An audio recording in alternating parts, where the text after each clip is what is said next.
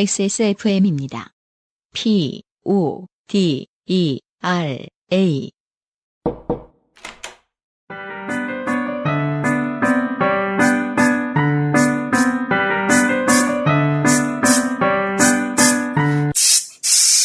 뿌리세요. 새 것처럼. 변기 시트 소독제 토일리쉬. 오늘의 마지막 사연은 네. 어, 울산 편의점의 김준 씨가 오랜만에 음. 사연을 보내주셨습니다. 안녕하세요. 울산에서 편의점을 운영하고 있는 김준이라고 합니다. 네, 이분이 지난번에는 진상 사연을 보내주셨던 걸로 제가 기억을 하고 있습니다. 네. 네. 음료수 깨진 거. 그랬던 것 같아요. 네. 네. 요파시 듣다가 UMC님이 사연 보내주세요. 라고 하셔서, 아, 그럼 보내야겠군. 하고는 메일을 열어 글을 씁니다. 음. 어, 그럼 이렇게 말을 잘 듣는 청취자. 네. 돈 보내주세요. 그럼 돈. 아니, 근데 어, 또 포- 폭언을 보내주세요. 하면 제가 폭언을 보내줘서 혈압을 낮춰줍니다. 제가 사연 요즘 비었다 이런 말 할 때가 별로 없잖아요. 음. 다 오랜만에 말씀드렸더니 네. 김준 씨가 바로 움직이셨더라고요. 아, 감사합니다. 네. 네. 근데 편의점 일 중에 사연을 쓸만한 것이 커진 진상 손님 아니면 무개념 알바 이야기가 대다수입니다.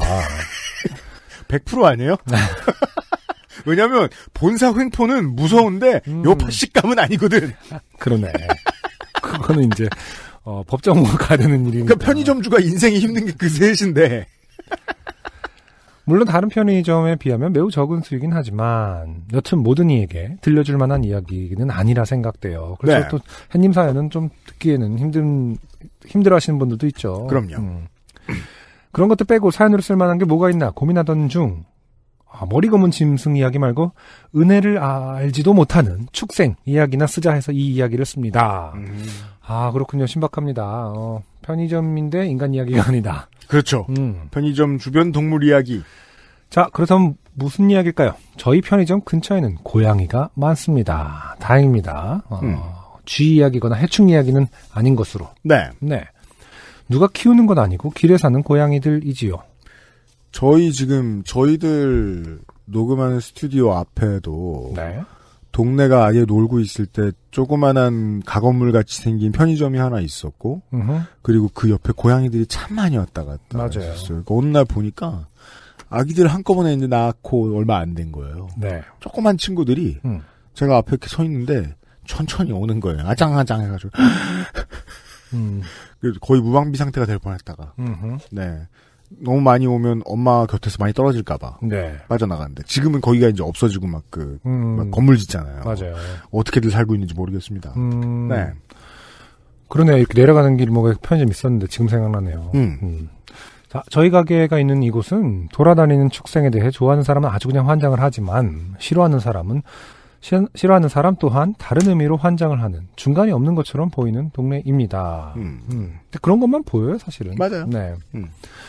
저는 어릴 적에 시골 할머 외할머니 집에서 몇 년간 산 적이 있는데 그때 기회가 되는 대로 키운 각각의 축생들 개, 고양이, 병아리, 토끼, 금붕어, 거북이 등등 오래 살지 못하고 다 죽어나간 경험이 있었던지라 그래 내 근처에 와봤자 빨리 죽을 뿐이지 하는 마음에 싫어하는 척 가까이 하지 않으려 하였습니다. 음, 그렇죠. 트라우마군요. 드라마가 있을 수 있죠. 음. 음.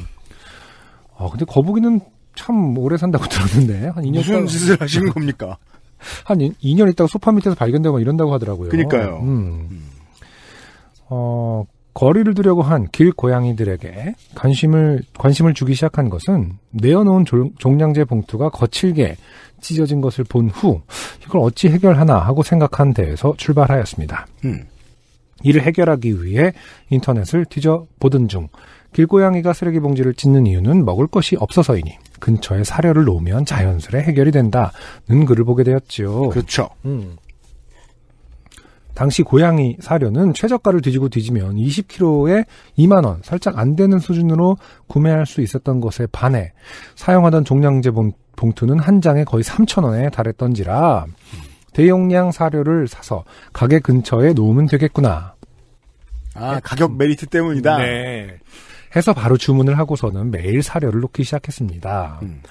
여기에 대해 머리 검은 짐승들이 왈가왈부한 일 등 앞으로 나올 이야기와 더불어서 일어난 일이 매우 상당히 많은데 오늘의 주제는 그게 아니니 생략하도록 하겠습니다. 아, 꼭 와서 참견하는 손님들 있죠. 왜 그런 그렇죠. 걸 갖다 놓느냐며. 네. 음. 음, 제가 사료를 놓은 지점은 가게 앞 어, 야외 테이블 아래와 건물 뒤편이었는데 사료를 놓으니 확실히 종량제 봉투가 찢기는 일이 점점 줄어들더니 한 달이 되지 않아 그런 일이 완전히 사라지게 되었습니다. 음. 그렇군요. 네. 다만 길고양이 관련해서 다른 문제가 생겼는데 음, 고양이들끼리 영역 다툼이 저희 가게 앞에서 이루어지게 되었다는 점입니다. 아, 커뮤니티가 활성화되었다. 음, 예. 가게 앞의 사료 스팟 근처에 는 야외 테이블만 있는 게 아니라 2리터 용량의 생수 6개 들이 상품을 내놓, 내어놓는 자리가 근처에 있었는데 길고양이들이 사료를 배불리 먹고서는 여기 생수에다가 영역 표시를 하곤 했습니다. 어, 귀찮은 일이 늘었지요. 그쵸, 이거는 팔기 힘들 텐데요. 근데 이러면 만약에 이제 뭐 물건을 망쳤다. 네. 라고 하면은 음, 종량제 봉투값 이상의 손해도 보실 수 있거든요. 그러게요. 근데 어, 사료를 갖다 놓는 걸 포기했다는 얘기는 안 나옵니다. 네. 네. 영역 표시뿐만 아니라 영역 싸움도 종종 하곤 했습니다. 이건 낮과 밤을 가리지 않는 데다가 매우 격렬해서 어, 가끔 들어오시려는 손님이 기겁하고 다른 곳으로 가버리시는 경우도 꽤 있습니다. 어, 실제로 보면 무섭죠. 엄청나죠. 네. 소리 막, 막 이러면서. 그렇죠. 그 소리를 이건 민정수석이 잘하는데. 소리를 고등학교 때 꿈에 바이크 같은 소리를 내면서 네. 두 고양이가 만수산 드렁치기 얼거진들 어떠하리 하며 대굴대굴 구르며 길을 가로지르는 모습은 게임 소닉의 주인공이 쓰는 스핀대시의 현실판 같았습니다. 그렇죠. 근데 보고 있으면 한심하죠. 그건 음. 빨리 나가지. 얘들은 천천히 팍팍팍팍. 네. 아무튼 그러한 혼돈의 시간이 지나 여러모로 공생하는 면모를 갖추게 되었는데 생수의 영역 표시를 하는 문제는 아래의 생수 높이 이상으로 단을 쌓아 그 위에 생수를 올려서 해결을 보았고 네. 영역 싸움은 자연스레 동네의 대장 고양이가 등극하면서 그 횟수는 매우 많이 줄었습니다. 아, 음. 정부가 수립되었다. 네. 어, 하지만 문제가 또 있었으니 그것은 발전기였습니다. 그렇죠. 음, 고양이는 다발적 동물로 날이 따뜻하면 수시로 짝짓기를 한다고 하는데 그 장소가 사료 스팟 주변이었습니다. 음. 음. 물론 사람이 오면 도망가기는 하는데 인적이 드문 밤 시간이 되면 그림자 속에서 갓난아기 울음소리를 내면서 저에게는 공포를 선사하기도 했었고 그렇죠. 때로는 아예 대놓고 가게 앞에서 파티를 벌이기도 하는 등 고양이판을 이루기도 했었습니다. 여기서 파티란 음, 그냥 뭐 이제 다과회 같은 것이 아니라 네. 마치 그 미국 그 젊은이들의 그 봄방학 같은 어떤 파티를 이야기하는 것 같아요. 그죠? 네. 어. 편의점주 입장에선 달가울 수 없죠. 음, 네. 아, 그렇죠. 근데 소리가 진짜로 막 계속 대화하게 되면은 굉장히 진짜 파티, 가 파티 같을 것 같아요. 제가 이제 이걸 아무도 가르쳐 주지 않아서 네. 두 가지를 이해하는데 너무 오랜 시간이 걸렸거든요. 몇 년이 걸렸거든요. 중학생, 고- 고등학생, 아, 주- 초등학생, 중학생 때. 하나는 이제 제 방 위쪽에 저 둥지를 틀어놓았던 비둘기의 울음소리. 아, 그렇죠. 이게 무엇인지 알기 전까지 이게 무엇인지 몰랐거든요. 음, 보통은 쥐라고 생각할 수도 있겠네요. 그냥 소리만 들으면 음, 그 보통 둠에서나 많이 듣는 효과음이에요. 맞아요, 맞아요. 옆쪽으로 들려요. 5채널을 들으면 주- 옆 주변에 괴물이 있음. 음. 이걸 알려주는 소리 있잖아요. 그 그거랑 이 발전기의 고양이 울음 소리. 네.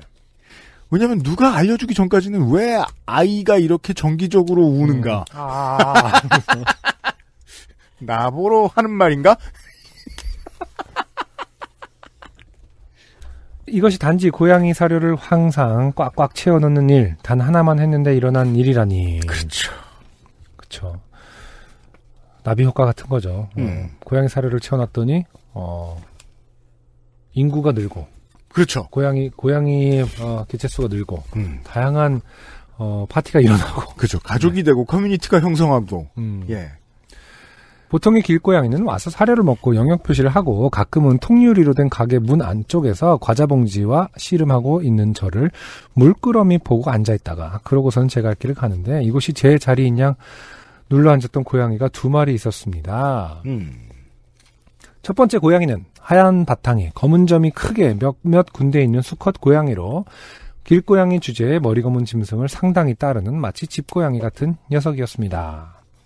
그 녀석이 어디에서 왔는지 정확히 알 수는 없었으나 여러 소문을 종합해보면 원래 길고양이 새끼였던 녀석을 어떤 사람이 어, 녀석이 형제와 함께 두 마리를 데려다 키우다가 이사 가면서 동네 뒷산 입구에 유기했고 형제 고양이는 아직 거기서 등산객의 주전부리를 얻어먹으며 살고 있고 이 녀석은 동네에 돌고 있다가 여기에 눌러 앉았다는 이야기가 되었습니다. 아, 이것은 그런 설화를 누가 음, 전해주셨을까요? 이것은 무슨 어, 헌혈 앱보다 더, 더 많은 정보를 담고 있는 것은 아닌가. 그러니까요. 동네에 일연이 살고 있지 않는 이상 이런 설화를 누가 엮어서 김준 씨한테 얘기해줬죠? 음, 여튼 고양이가 밤에 이렇게 나뭇잎을 놓고 펑 하고 사람으로 변신해서 담배 하나 주세요 하고 들어와서 네. 저 고양이는 말입니다. 이러면서 친구 얘기를 해주고 나간 것이 틀림없다. 그렇지 않고선 인간이 어, 이렇게 자세하게 할 수는 없을 것이다. 음. 그러니까 만약에 이제 담배 사러 온 밤에 담배 사러 온 손님 중에 음. 민증 달라고 해봐서 당황한다. 음. 그럼 그 사람이 고양이다. 아, 민증을 줬는데 잘 엉겹거래. 고양이 민증을 줬다. 어. 냥! 방금 양은 아이코란 뜻입니다.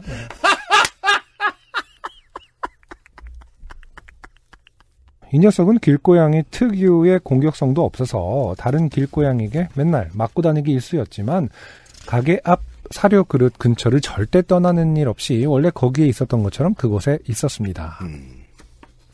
그 녀석은 손님들에게 애교를 부리기를 곧잘 했는데 거기에 홀린 손님들이 우리 가게에서 고양이 간식이나 참치, 소세지, 마른 안주를 사서 주는 것으로 화답하곤 했었습니다. 어허. 네, 굉장히 다 어, 몸에 안 좋은 것들이죠. 아, 고양이 간식 빼고요. 네.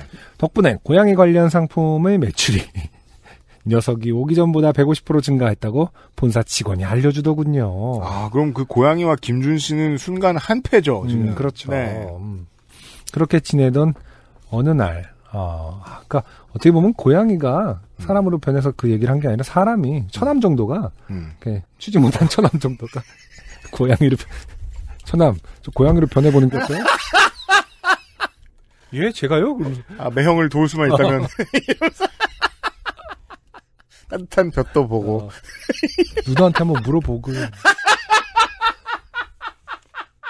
내가 아는 주술사가 있는데 이러면서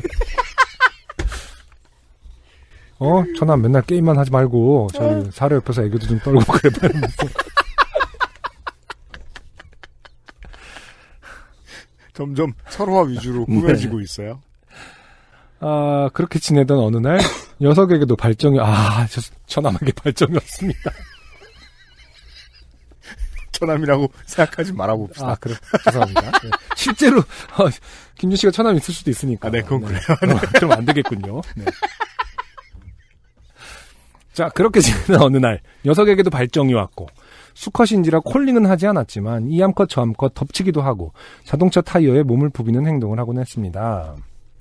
가게 바깥에 있던 수도가에 걸레를 빨러 나가면서 어 빨려 나가면서 본 녀석의 마지막 살아있던 모습 아이고 살아있던 모습이라고 하니까 음. 어, 살아있던 모습은 막 정차한 차의 타이어에 몸을 부비던 모습이었습니다. 그걸 보면서 저러다 차에 치는 거 아니야? 좀 착착하지 같은 생각을 했지만 발정이 온 고양이는 만취한 머리 금, 머리 검은 짐승과 같다고 하는 말을 얼핏 들은 것 같아 그냥 생각만 하고 제가 할 일을 했습니다. 음, 몇 분이 지났을까 가게 안에서 상품 정리를 하고 있던 중에 옆 가게에서 일하시는 분이 어, 저희 가게로 뛰어 들어오셔서는 큰일 났다고 고양이가 치였다고 하는 소리에 나가보니 길 가운데 죽어가는 고양이가 있었습니다. 어, 그러네요. 처남이라고 하면 안 되는 부분이 있었군요. 네. 아, 그를 냠냠이라고 부르며 귀여워해 주었던 집에 개를 두 마리 키우신다는 건너가게 사장님에게 걷어줘서 동물병원으로 보내줬고 거기서 화장되었다고 들은 게 마지막이었습니다. 희한한 것은 그 녀석을 건너가게 사장님이 걷어 가실 때 예보에도 없던 비가 왔다는 것입니다. 음. 그렇게 녀석이 간지 한 1년 지났나 이번엔 다른 고양이가 눌러 앉았습니다. 이번엔 속칭 카오스라고 부르는 어, 색이 마구 섞인 암컷 고양이. 아 카오스라고 부르나요? 저는 그냥 삼색이라고 늘 불러왔는데. 그 코숏 중에 이제 제일 그 배색이 음, 과감한 네 흰색, 호피에 가까운 검은색 보통 음. 그렇죠.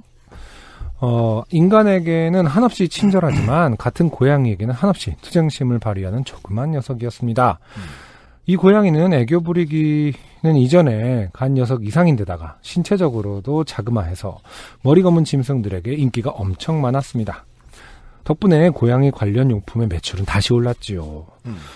그런가 하면 사료 스팟이 자기 영역이라고 굳게 믿고 있는 듯 근처에 오는 고양이랑 고양이는 모두 뚜까패는 엄청난 어, 깡을 가지고 있었습니다. 동네 대장 고양이에게도 몇 번이나 덤벼 들더군요. 예. 뒤에 대장 고양이는 여유 있게 사료를 먹고 영역 표시를 하는 걸로 봐선 결과는 어, 진듯 하지만 그 뒤로도 계속 고양이들의 영역 싸움이 가장 한창일 때 소리가 밤낮으로 들려왔습니다. 녀석의 기원에 대해서는 잘 모르겠습니다. 음. 어, 앞에 먼저 간 녀석에게 알게 모르게 정을 많이 줬던지 왜인지 모르게 관심을 주고 싶지 않다는 게 제일 큰 이유였기도 하고요. 그렇죠. 이 녀석이 왔을 때 저는 이전과는 달리 야간 근무를 주로 하고 있어서 더는 소문을 못 들어서일지도 모르겠다는 생각, 생각도 듭니다. 동네 소문이라는 것은 의뢰, 아주머니들을 통해 전해지는지라 아, 그렇군요. 네, 야간은 그분들의 시간이 아니어서 어, 그런 것이겠지요. 음, 아주머니들이라고 생각되는 1년에 1년에 고양이 고양이 메신저들. 네. 음. 하여간 시간은 흘러 녀석에게도 발정이 왔고 어, 이번엔 암컷이니 지난번 같은 일은 없겠지 하며 괜히 조마조마하고 있었는데 몇 주 지나니 배가 불러오는 것이 갓 새끼를 벗어난 듯한 주제에 임신을 했더라고요. 음. 아 그러면은 이제 수컷 같은 경우는 조금 이렇게 부비부비를 쉽게 말해서 하기 때문에 사고 위험이 좀 높나 보군요, 길냥이들이. 그러게 말입니다. 아, 예, 예. 네. 네, 색, 그리고 또 암컷 같은 경우는 맞아요. 저, 저 같은 경우도 그 동네 지켜보는 양이들 보면은 애기였을 때부터 예뻐했는데 뭐 한 1년이 안 돼서 보통 엄마가 되기도 하더라고요. 음. 음, 고양이들은. 네 네. 조금 놀라긴 했지만, 이, 뭐, 길고양이가 그렇지 하면서 나중에 새끼는 사람 안 보이는 데서 놓으면 여길 떠났겠거니 했는데 가게 앞에서 덜컥 출산을 해 버렸습니다. 음. 와, 저 진짜 집이라고 생각하나 보군요. 음. 다행히도 이 녀석에게 홀린 동네 사람들 중 한 사람이 고양이라니까. 음, 다 한패야. 집사 같은 개념이죠. 어. 여기 공간을 좀 써도 되겠습니까? 하며 박스로 집을 만들어 놓은 것이 있었고 다른 사람이 안에 수건을 깔아주고 또 다른 사람이 비닐로 방수 처리를 한 곳이 있었던지라 음, 계속 사람이라고 착각하시는데 어, 기회가 될 때마다 그쪽에서 지금 양이들을 파견 보내는 거죠. 네. 네. 민증 확인하시고요. 네. 어, 사람이라면 한 사람이 다 할 수 있겠지 않습니까? 현실적으로. 어, 고양이니까 지금 나는 박스밖에 모른다냥. 이러면서 지금 하고 가고. 어. 두 번째, 비닐은 내가 한다냥 하고 오는 겁니다. 예. 하지만 저는, 이거 나중에 어쩌나, 날 따뜻해지면 저 공간을 다 정리해서 손님 받아야 할 텐데. 아, 그 파라솔 있는 데니까. 음. 음. 하는 걱정이 점점 커져 갔습니다. 그러던 중에 동물보호단체에서 먼저 제게 임시보호를 하겠노라고 연락이 왔고, 지금은 이 어미 포함 7마리를 모두 데려간 상태입니다. 그렇군요. 네. 이것도, 어, 동물보호단체를 빙자한 동물이다. 특공대가 파견되어 자기네들 나라로 간 것이다. 네. 그것에서 말하기를 어느 정도 성장시킨 후에 모두 가정 분양시킬 것인데 새끼들은 거의 100% 분양이 되지만 어미의 경우는 안 될 수도 있다. 끝까지 알아보고 안 되면 중성화한 후 원래 살던 곳에 방생한다고 하더라고요. 어, 그렇군요. 참 여러 걱정이 어, 덜어지는 순간이었습니다. 무엇보다도 고양이들은 길에서 죽는다는 선택지 말고 다른 선택지가 생긴 것 같아서 참 다행이다 싶기도 했고요. 음. 여기까지가 편의점 주가 쓰레기 봉투 낭비 안 하려고 고양이 사료 주다가 생긴 일들입니다. 요새 밤에는 특히 손님이 없어 글을 집중하며 쓸 수 있었네요. XSFM 식구 모두 코로나19 조심하시고 다음에 또 사연 보내주세요라고 UMC님이 말씀하실 때 쓸만한 사연이 생기면 진상, 진상 사연은 웬만하면 제외하고 써보도록 하겠습니다. 읽어주셔서 감사합니다. 네. 근데 정말로 음. 그이 안승준 군의 이론을 채택해서 네네. 우리 사회에 우리가 이제 알고 지내는 혹은 모르고 지내는 사람들은 네. 생각보다 고양이다 음, 이렇게 음, 가정을 하면 네. 재미있어지네요. 음. 네.